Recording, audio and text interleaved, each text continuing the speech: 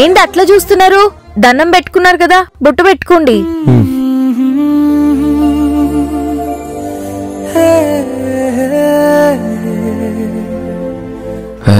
Lorry గారు mirror లేకుండా మీలా బొట్టు పెట్టుకోవడం కష్టం అండి ఇఫ్ యూ డోంట్ మైండ్ నాకు కొంచెం బొట్టు పెడతారా?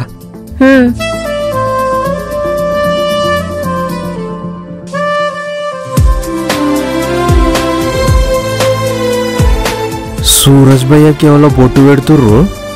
ఎవలబ్బా?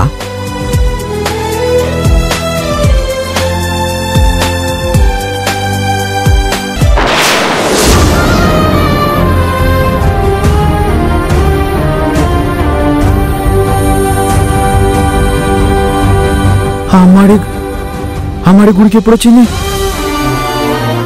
ఇంతకీ మీరు నా కోసం ఎందుకు రావాలనుకున్నారు? ఈరోజు హాలిడే కదండి. కంబైన్ స్టడీస్ చేద్దామని. జీవన హర్ష విడిగా చదువుకుంటున్నారు. ఇప్పుడు వద్దులే ఎగ్జామ్స్ టైంలో కంబైన్ స్టడీస్ చేద్దాం. హ్మ్, అలాగేనండి.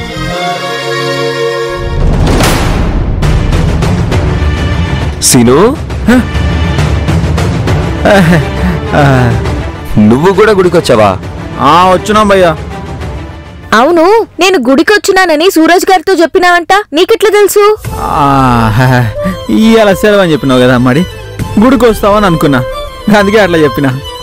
నీ గురించి నాకు తెలియదు అయింది థ్యాంక్స్ సీను నువ్వు చెప్పకపోయింటే నేను ఇంటికి వెళ్ళిపోయేవాడిని అదే కదా నేను చేసిన తప్పు. ఏంది మూడు కళ స్వామి? ఇట్లా చేసినావు? నీ సంగతి తర్వాత చెప్తాగు బాయ్ సూరజ్ గారు నేను బయలుదేరతా.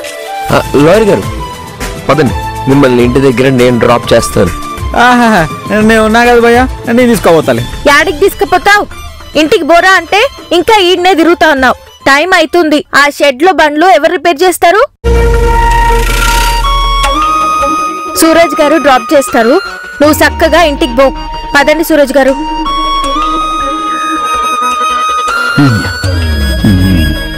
నేనేమనుకొని వచ్చినా ఇక్కడ ఏం జరుగుతుంది? ఓ మూడు కళ్ళ సామె. నా మీద ఇట్లా కచ్చ కట్టినావేంది? నాకు అమ్మాడికి మధ్య గా సూరజ్ భయం ఉండు నాకు ఇష్టం లేదు. గాయని తప్పించి అమ్మాడి నన్ను కలుపు. సమజైందా? ఉంటా. యాదుంచుకో.